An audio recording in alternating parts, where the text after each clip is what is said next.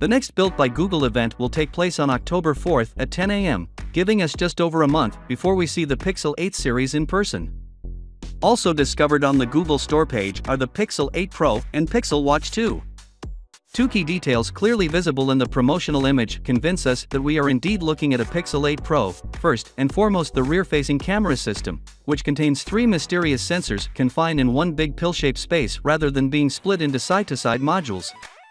In addition to the triple shooter system, there are two sensors rather than one, with the component at the top presumably acting as a good old-fashioned LED flash while the small circular item at the bottom should take care of body temperature readings in a move by Google to stand apart from today's Android flagship pack. So far, all Google Pixel 8 Pro leaks have outlined the significant hardware enhancements promised for this year's range. In contrast to last year's Pixel 7 series, this year's Pixel 7 series is expected to include more camera enhancements.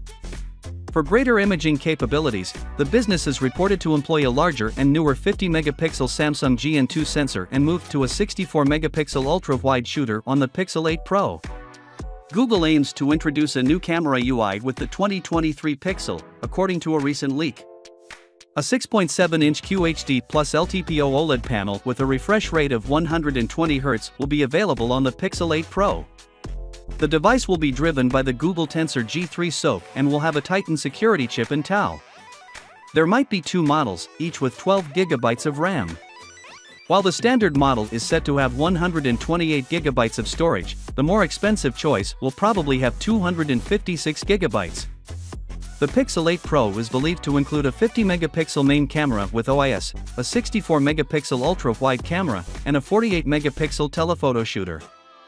The device is believed to sport an 11-megapixel camera sensor on the front for selfies and video conferencing.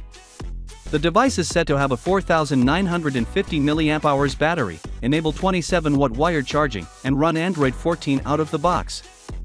Finally, what are your thoughts about it? So with that been said let me know your thought in the comment below and if you are new here please subscribe peace out.